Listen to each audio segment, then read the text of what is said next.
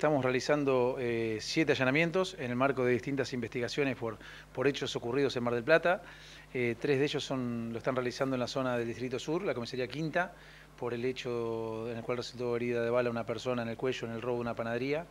Este, después estamos haciendo otros allanamientos por un hecho que ocurrió hace el día 30 de agosto, hace pocos días, eh, acá en un polirrubro de la Avenida Independencia, al 2600, donde tres personas eh, armadas asaltan a, la persona que estaba a cargo del comercio, y otro allanamiento por un hecho en, la zona del barrio, atrás del barrio Libertad, barrio La Herradura,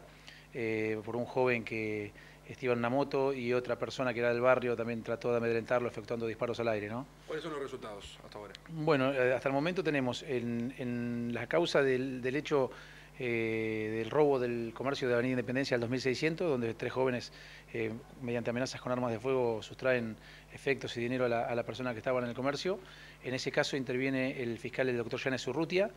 tenemos dos menores aprendidos, un menor de, tenemos, o sea, en realidad tenemos un menor aprendido que es un menor de 17 años y un menor que es inimputable, donde el fiscal y la jueza de garantía que interviene dispusieron su internación en el Instituto de Menores, ¿no? dado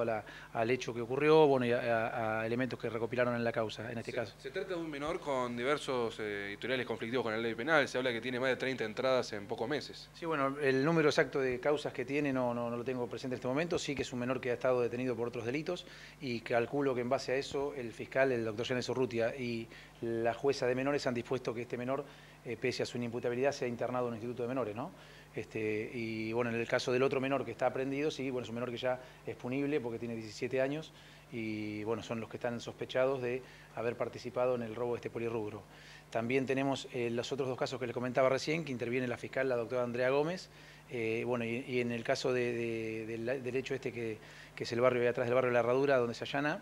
en la calle San Martín al 11.300, es un hecho del 25 de agosto, donde un joven de 19 años circulaba en su moto, y otro muchacho de 20 años de estas características que siempre hablamos nosotros, ¿no? que por ahí a los tiros quieren amedrentar a los, vecinos o a la gente del lugar, eh, pasó, cuando pasó este joven, efectuó unos disparos al aire